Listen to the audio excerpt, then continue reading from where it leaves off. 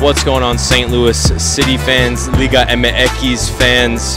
Today, tonight, I should say, we are outside City Park taking on Club America, one of the most historic clubs in North America of all time. Uh, the first game in the Leagues Cup didn't go in our favor. Hopefully, we can turn it around against a good result against a very strong Mexican League side tonight. Let's bring it on. Tell me, what does Club America mean to you? Club America is the most, the team has won the most championships, the most titles in the area. It's the biggest team in North America and South America. Club America, uh, they are the most winning team in Mexico. I think they have 14 Liga MX titles. Um, I guess best team in Mexico, according to them. But, you know, I'm not a fan of them because I hate them. but Do you support a, a different Liga MX I do. side? Santo Laguna. Okay. All the All way. way. Santo, okay. Santo Laguna. Club America. Club America means, I guess, unity. I don't know. It's a it's it's a really important club in Mexico. Man, it basically means everything, bro. It's like the best team in the world. There's no other team to watch but America. This is where I came from. Drove from Chicago, five hours doing it, and I have I have enough energy to watch them win. Hopefully today. What do you think of this Leagues Cup format? Do you like it or do you dislike it? Honestly, I like it a lot. You know why? Because I see U.S. teams fucking busting their ass. I see Mexican teams busting their ass. Right now, there's a rivalry. Yeah. What has the better league, Mexican league or U.S. league? And th- they're they're getting down to it. Well, I think it's kind of unfair because all the games are held here in the United States. I feel like, I feel like the MLS teams have more of an advantage than the Mexican teams.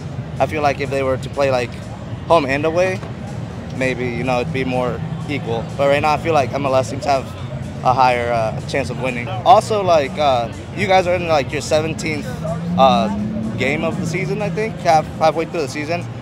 Mexico right now, their league is third, the third game of the season. So you guys, uh, the MLS has more of a balanced squad right now than the the Mexican teams. I think it's a good mixture.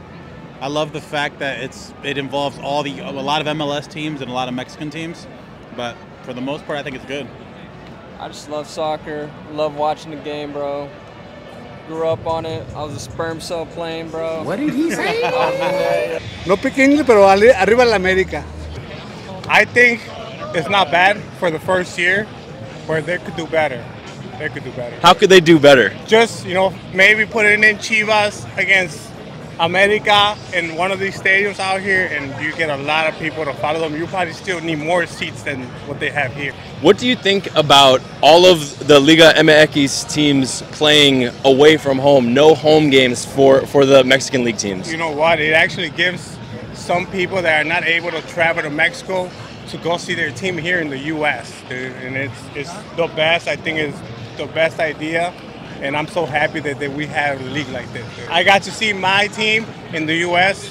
is priceless. How do you think this atmosphere rivals other atmospheres from, from games past? We got drunk ass Mexicans, bro. They turning up. No, There's it's- gonna be yeah. something going down. Heck yeah, it's gonna be fun. It's gonna be awesome.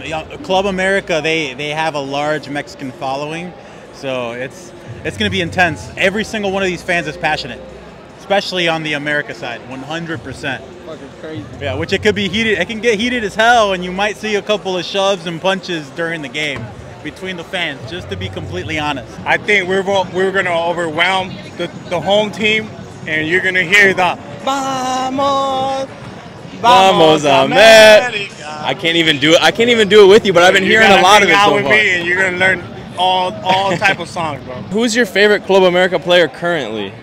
Damn, man, they're, they're all good. But you know what? If I had to choose one, I would say the new player that came in, Quiñones okay. from Atlas. He is top, he's a Colombian top rated player.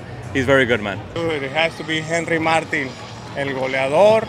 You can't go wrong. I'm hoping that we get to see him and hopefully he scores, man. But how about this one touch ball from Quiñones to Henry Martin, completely turning Tim Parker? How's that for a five minute start?